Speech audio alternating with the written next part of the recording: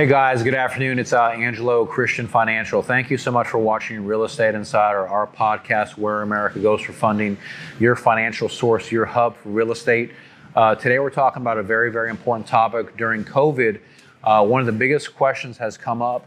Um, what about if you're trying to buy a house or you're trying to get a loan, you lost your job during the process? What do you do, Angelo? Um, because I've had this question posed to me about literally I kid you not, probably about 90,000 times. And I thought it was now was the time uh, to make a video about it because what if you're going through uh, a loan process, you're trying to buy a home, and you get the red tape, you know, from your employer saying that you lost your job. You know, you get the pink slip. Remember the old pink slip in the movies, and they talk about, "Oh, I'm sorry, you lost your job." I've seen it happen a lot in the last year because of COVID. And, um, you know, I wanted to talk and say that my heart goes out to you. If you did lose your job, I feel very bad uh, if that happened to you. And all I can say is don't give up, just hang in there. And I'm sure that you'll get the skills or, you know, as the market picks back up to get your job back. Um, but the bigger thing is that if you are trying to buy a house and you're trying to get a loan and you've lost your job, there are some important things to know so you can be prepared, so you can be ready, so you can get approved for your home loan. So the biggest thing is if you lost your job because of COVID, you're, you had unemployment, the underwriters, the market, the lenders, they understand this, and that's okay. It's okay if you're out of work. We understand now. It's okay if you had unemployment.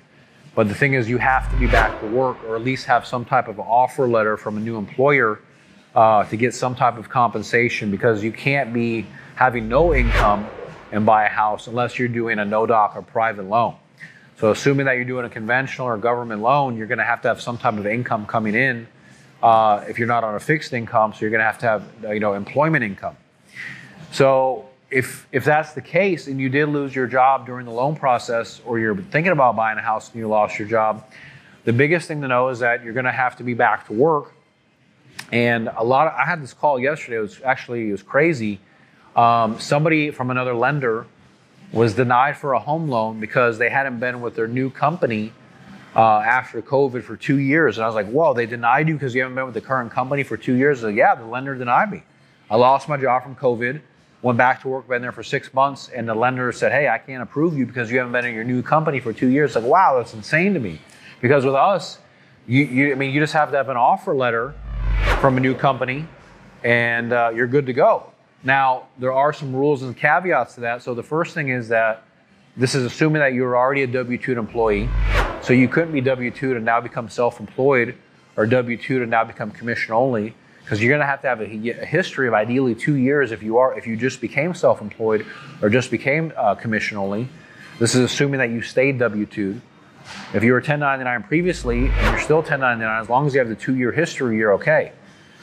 But if you just lost your job because of COVID, let's say you're a school teacher, and then a new school has picked you up and you have an offer letter from the new school, we can give you credit for that income from the on that you have on the offer letter.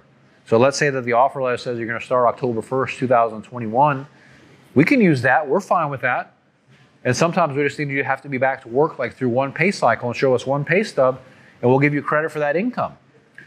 So it's okay that if you did lose your job during the process, just find another employer, get an offer letter. You might have to produce one or two pay stubs.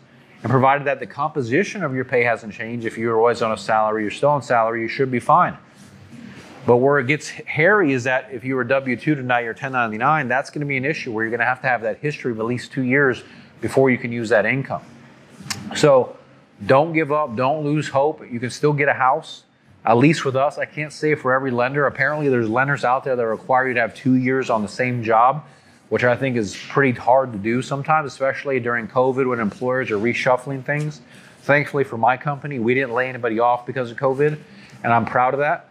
Uh, but there are some employers that did do layoffs, massive layoffs, um, because of the heat and the pressure. And uh, all I can say is that you know, find another job, get us an offer letter, and then start working for that job as soon as possible, uh, and then you can get credit for that income. Okay. Just, just keep in mind that the composition of the pay can or should not change. And if it has changed, that could affect uh, the qualification of the loan. But I did want to shed some light on this because we get this question asked all the time and people are scared or reluctant to apply for a loan because they lost their job and they think in their head that they have to be two years on the current job. And, and I know there's a stigma out there that says that, but it's just not true. So you can be back to work 30 days as long as it's the same industry, same type of pay, and you can use that pay. So please don't be bashful. Reach out to us, call or text us at the number above, the 832 431 6331. My name is Angelo Christian. I've been serving America for nearly 20 years.